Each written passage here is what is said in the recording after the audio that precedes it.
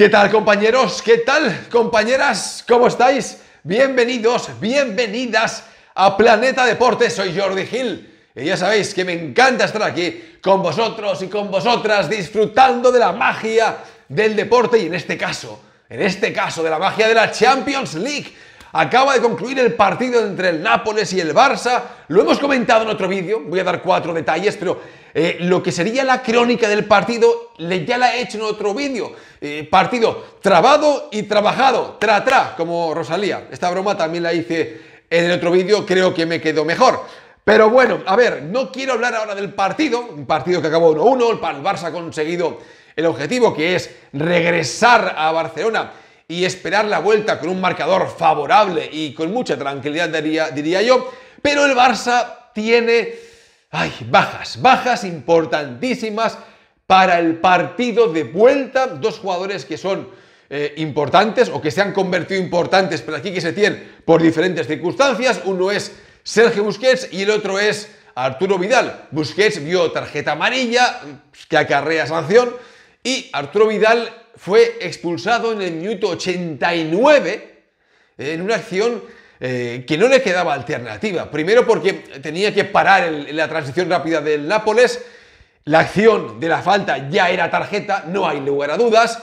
Lo que sucede es que tras la acción eh, los jugadores del Barça y del Inter pues se encararon y, e hicieron aquello que en ocasiones hacen, que es vamos a tomarnos la temperatura colocando la frente con la frente, nada más, nada más. Hacen así y se separan. Es, muy gracioso, a mí, a mí me hace gracia porque es que te pego, que te pego y nunca pasa nada. Entonces se tocan y cuando los jugadores notan que se están tocando, es decir, notan piel y piel, ahí da sudor, pa, uno y uno, de repente dicen, qué asco, paf, y se separan como empujándose con la cabeza.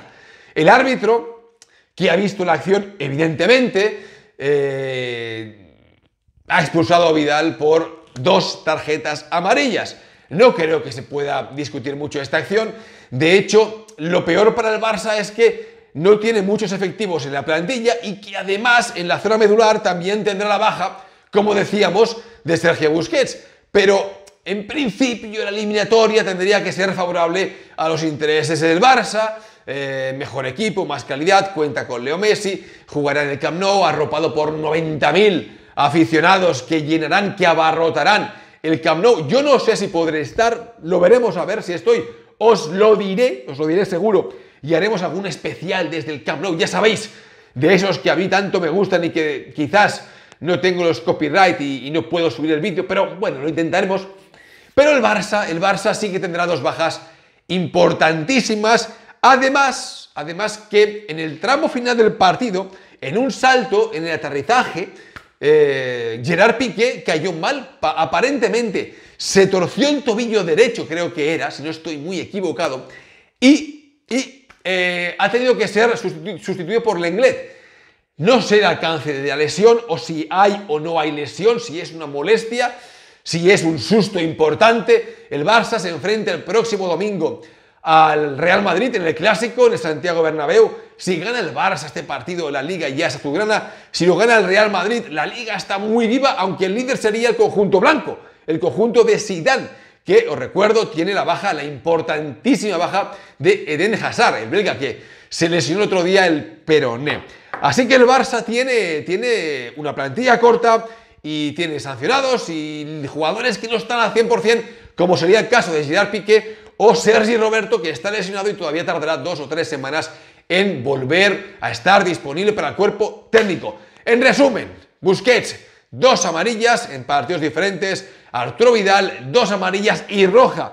En el mismo partido, ambos jugadores no podrán estar en tres semanas en la vuelta de los octavos de final de la Champions League en Barcelona ante el Napoli italiano. Nada más, nada más. ¿Qué pensáis? Sobre todo, ¿qué pensáis de la tarjeta roja de Arturo Vidal? ¿Creéis que ha sido justa? ¿Creéis que el árbitro se podría haber ahorrado la segunda tarjeta? Yo creo que se puede sacar, ¿eh? Se puede sacar la segunda amonestación. Se puede sacar porque ya sabéis que el frente a frente, el choque de frentes no, no suele gustar. Pero si hubiese hecho la vista gorda, como que tampoco hubiera pasado nada. a los árbitros también les gusta en algunas ocasiones ser protagonistas. Pero bueno, ¿qué le vamos a hacer? Ya sabéis, comentarios, placer inmenso. Continuamos, gracias, chao, hasta luego.